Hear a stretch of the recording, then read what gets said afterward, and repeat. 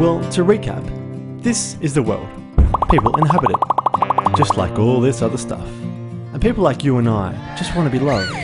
But like we have found, we aren't really that great at it. So we either keep looking, run away, or just accept that this is as good as it gets. But that's not the way it's meant to be. Just like Wizz Fizz isn't meant to be consumed through your nose. Like guys, I'm meant to be kicked in the can of paint is not meant to be worn as a top hat. That's not the way it's meant to be. We're created for so much more.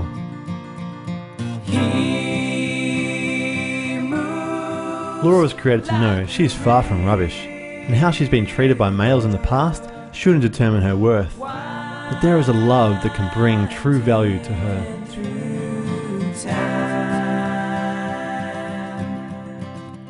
And Dave was designed to live free from what his mates think of him, not trying to impress them by being the funniest, by being the fittest, or even the coolest.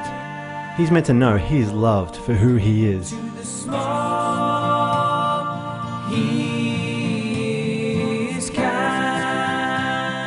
What Lucy has believed about herself through fashion magazines, advertising, and overloading on chick flicks is a lie. No amount of makeup or dating tips can change her or make her more lovable. Josh was designed to be a man of integrity and courage, rather than one that goes to bed every night feeling guilty and ashamed of the stuff he's done and the people he's hurt. He's meant to know there can be freedom. And the one who created them to know this and experience this is God.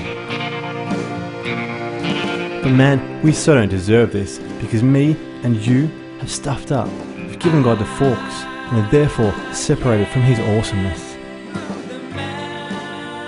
But His love is bigger.